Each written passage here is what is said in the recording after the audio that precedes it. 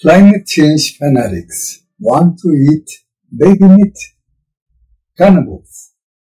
Some fanatics gather at a climate change discussion forum. One hysterical woman says, we only have a short time left. Therefore, we have to start eating babies. She says that should be the slogan of the campaign on climate change control. She also says we have to get rid of a lot of carbon dioxide. Please give a Okay, response. thank you. No, thank you, thank you. We only have a few months left. I love that you support the Green Deal, but it's not getting, you know, getting rid of fossil fuel. is not going to solve the problem fast enough. A Swedish professor saying, you know, we can eat dead, dead people, but that's not fast enough. So I think your next uh, campaign slogan has to be this: We got to start eating babies. We don't have enough time. There's too much CO2.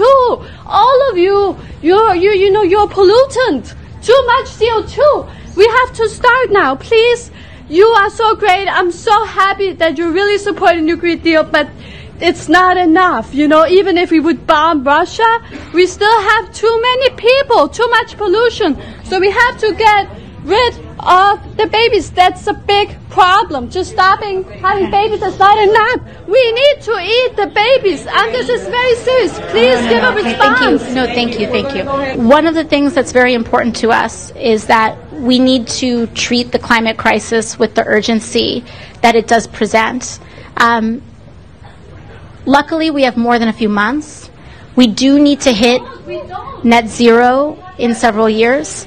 Um, but I think we all need to, to, to understand that there are a lot of solutions that we have.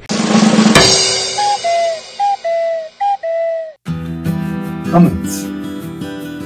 What madness and fear reigns in the world?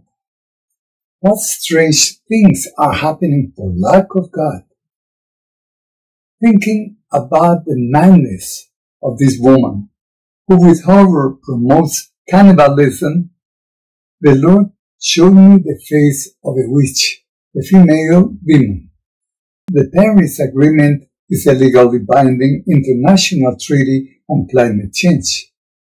It was adopted by 196 countries at the COP21 in Paris on December 12, 2015. It was made to control the emission of carbon dioxide. Scientists believe that man can change the climate to have a new world. But according to the Word of God, this will not be possible. The Vatican has a part in the globalist climate agenda and pushes for climate change control legislation aligning itself with the United Nations Agenda 2030. It has also become a green political group with its encyclical Laudato Si, which promotes idolatry to the earth and the cult of the Pachamama. They forget the Holy Scriptures that foretell climate change as one of the punishments of God's wrath. Apocalypse 16 verses 7 to 11. And I heard the author say, Yes, Lord God Almighty, true and righteous are your judgments. The fourth angel poured out his bowl upon the sun, which was allowed to burn the people with fire. They were all terribly burned, but they did not repent. Instead of giving glory to God, who has power over these plagues, they cursed his name. The fifth angel poured out his bowl on the throne of the beast, and the kingdom of the beast was plunged into darkness. The people beat their tongues in pain, and because of their sufferings and their sores, they cursed the God of heaven. But they did not repent of their evil deeds. What scientists are finding with the weather is prophecy from the apocalypse. The Lord also prophesied that many would become cannibals. Jeremiah 19 verses 8 to 9. I will make this city a desolate place and an object of derision. Everyone who passes through it will be astonished and mock at all its wounds. In the face of the distressing siege that will be imposed on you by the enemies who are attacking you, I will cause them to eat the flesh of their own sons and daughters, and to devour one another.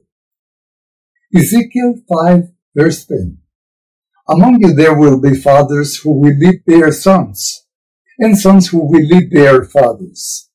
I will punish them, and whoever survives I will scatter to the four winds. And if men would like to avoid all these punishments, this is what the Word of God tells us. 2 Chronicles 7 verses 13 to 15. When I shut up the heavens so that there will be no rain, or command the locusts to devour the earth, or send pestilence upon my people. If my people who bear my name will humble themselves and pray and seek me and forsake their evil conduct, I will hear them from heaven and will forgive their sin and restore their land. I will keep my eyes open and my ears attentive to the prayers that rise up in this place. If you like this video, please give us a like. Subscribe to our channel, The Work of God. Share on social networks. And don't forget to leave your valuable comments. What do you think of the church in relation to climate change? God bless you.